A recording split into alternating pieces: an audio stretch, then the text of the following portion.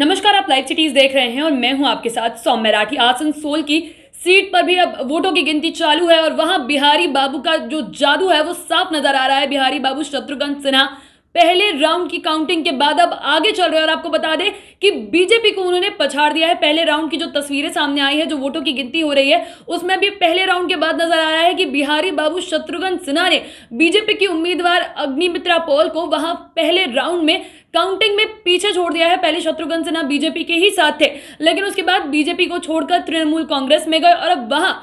जब वो आसनसोल की सीट से चुनाव के मैदान में उतरे, तब अब वोटों की जो गिनती हो रही है, जो रुझान सामने आ रहे हैं, उसे साफ़ साफ़ नज़र आ रहा है कि बंगाल में इस बार बिहारी बाबू का जादू चल गया है, क्योंकि अब वोटों की गिनती में वो आगे चल रहे हैं। हालाँकि जब गिनती की शुरुआत की गई थी तो अग्निमित्रा पॉल की लीड बताई जा रही थी, लेकिन जब पहले राउंड की तस्वीरें साफ़ हुई तो उसमें यह दिखाई दिया कि शत्रुघ्न सिन्हा जो है, वो भाजपा की उम्मीदवार अग्निमित्र पॉल से काफ़ी ज़्यादा आगे चल रहे हैं। और आपको बता दें कि पहले भाजपा के साथ ही थे, शत्रुघ्न सिन्हा काफ़ी वरिष्ठ नेता रहे हैं, लेकिन उसके बाद उन्होंने भाजपा का साथ छोड़ दिया और तृणमूल कांग्रेस के साथ मिलकर चुनाव लड़ा। और अब पहले राउंड में जो है वो आगे चल रहे हैं। आपको ये भी बता दें कि शनिवार को सुबह आठ बजे से ही वोटों की गिनती शुरू कर दी गई है। जब सीट में वोटिंग डाली गई थी, मंगलवार को इस सीट के लिए वोट डाले थे लोगों ने। 66.42 परसेंट लोग आए थे, शामिल हुए हैं वोटिंग में और उन्होंने अपने वोट डाले और अब जब गिनती हो रही है, जब रुझान निकलकर सामने आ रहे तो पहले राउंड में भाजपा को तृणमूल कांग्रेस ने पछाड़ दिया है। पहले भी हमने देखा है कि किस तरीके से पंजाब में भी इस बार बिहारी बाबू का जो बोलबाला है, वो रहा है, बंगाल में भी अब कुछ वैसी ही तस्वीर नज़र आ रही है, क्योंकि बिहारी बाबू शत्रुघ्न सिन्हा का जो जादू है, वो बंगाल पर दिखाई दे रहा है, आसनसोल की सीट पर वो आगे चल रहे हैं, और एक बार फिर भाजपा के लिए बड़ा झटका हो सकता है, क्योंकि शत्रुघ्न सिन्हा पहले उनके साथ ही चुनाव लड़ते थे, पहले उन्हीं के साथ ही थे, लेकिन उसके बाद भाजपा का साथ छोड़कर वो तृणमूल कांग्रेस के साथ चले गए, जहाँ वो काफ़ी ज़्यादा बेहतरीन प्रदर्शन कर और भाजपा को एक बार फिर से बड़ा झटका जो है, वो लग सकता है। आपको बता दें कि आसनसोल की सीट पर पहले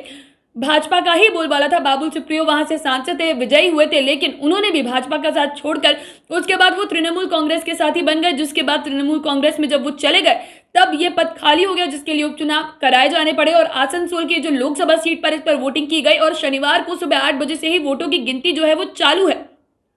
शुरुआती रुझान जब आना शुरू हुए थे तो लोगों को ये लगा कि अग्निमित्रा पॉल जो है इस बार बाजी मार सकती है, क्योंकि ये सीट पहले से ही भाजपा के खाते में थी और इसीलिए भाजपा की जीत लोग उम्मीद कर रहे थे कि ये हो सकती है, लेकिन जिस तरीके से अब रुझान सामने आ रहे हैं, शत्रुघ्न सिन्हा ने आपको एक बार फिर बता दें कि भाजपा को पीछे छोड़ दिया है, साफ़ नज़र आ रहा है कि भाजपा के लिए इस सीट पर अब जीत हासिल करना उतना आसान नहीं लग रहा, जिस तरीके से लोग उम्मीद लगाए बैठे थे कि ये सीट एक बार फिर से भाजपा अपने ही खाते में लेकर जाएगी, लेकिन शत्रुघ्न सिन्हा के जादू ने ये सारी इक्वेशन जी उसे बदल दिया है, क्योंकि पहले राउंड में वोटों की गिनती के बाद अब वो आगे चल रहे हैं और अब आगे जो भी रुझान आएँगे, कुछ देर में तस्वीर पूरी तरीके से साफ़ हो जाएगी और समझ समझ में आ जाएगा कि बिहारी बाबू ने बंगाल में इस बार क्या कर दिया है और हो सकता है कि भाजपा को एक बार फिर से बड़ा झटका लगे, लेकिन कुछ ही देर में पूरी तस्वीर साफ़ हो जाएगी। आप बाकी की वीडियोस के लिए चैनल के साथ बने रहें। अगर इस वीडियो को फेसबुक पर देख रहे हैं तो पेज को लाइक करें यूट्यूब पर देख रहे हैं तो चैनल को सब्सक्राइब करें। लाइव सिटीज़ के साथ आप ट्विटर पर भी जुड़ सकते हैं। धन्यवाद।